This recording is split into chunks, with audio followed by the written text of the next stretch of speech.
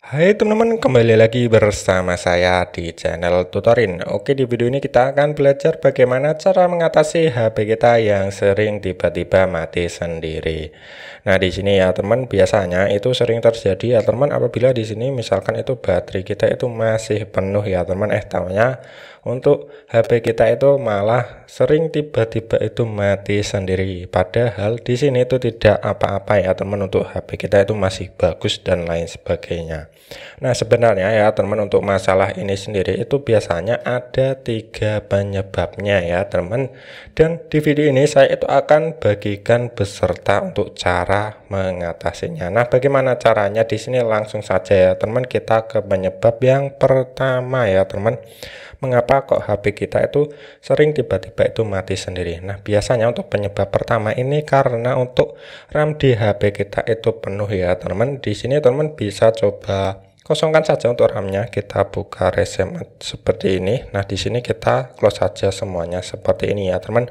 Karena biasanya kalau kita untuk RAM-nya itu penuh itu bisa ngehang ya, teman dan HP kita itu bisa mati sendiri dan biasanya di sini itu kita menginstal untuk banyak sekali untuk aplikasi ya teman. Jadi banyak sekali aplikasi yang tidak terpakai itu juga bisa menyebabkan HP kita itu mati sendiri ya teman. Atau mungkin teman itu menginstal aplikasi atau mungkin game yang cukup besar ya teman. Sehingga untuk HP kita itu tidak kuat ya teman. Jadi ketika kita menggunakan gamenya eh tahunya malah HP kita itu mati sendiri.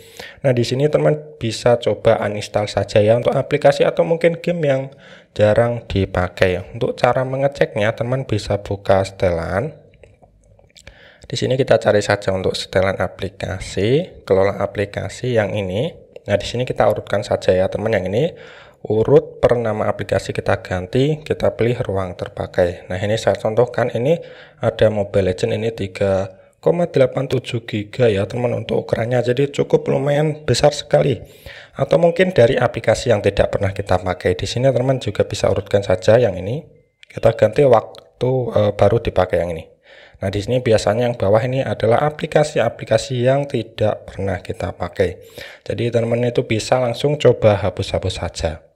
Nah, lanjut ya teman untuk yang penyebab kedua. Untuk yang penyebab kedua ini biasanya karena tombol power di HP kita itu sudah rusak ya teman atau mungkin bisa saja itu konsleting ya teman yang mengakibatkan biasanya itu terpencet sendiri secara terus-menerus.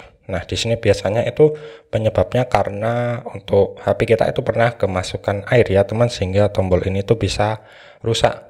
Nah, di sini biasanya apabila mungkin teman itu mengalami tombol powernya yang rusak, teman itu bisa coba bersihkan saja ya. E, dengan cara dipencet-pencet berulang kali seperti ini ya teman.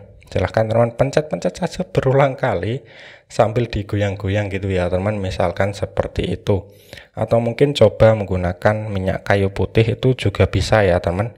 Silahkan teman bersihkan saja sekitarnya. Dengan cara itu silahkan teman coba apakah tombol powernya itu masih bisa diselamatkan atau tidak nah apabila sudah tidak ya teman di sini mau tidak mau teman itu wajib uh, datang ke service center ya teman untuk mengganti tombol powernya seperti itu.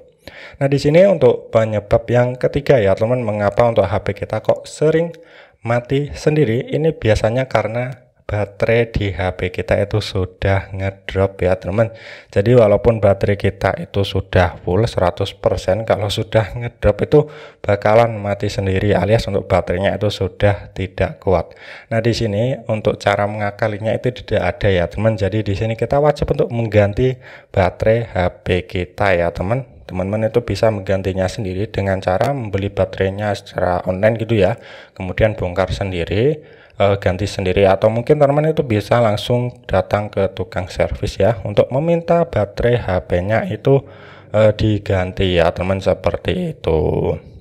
Oke teman-teman ya cukup sekian untuk tutorial singkat kali ini. Apabila mungkin teman-teman itu ada pertanyaan bisa tulis saja di kolom komentar. Semoga bermanfaat dan sampai bertemu di tutorial selanjutnya.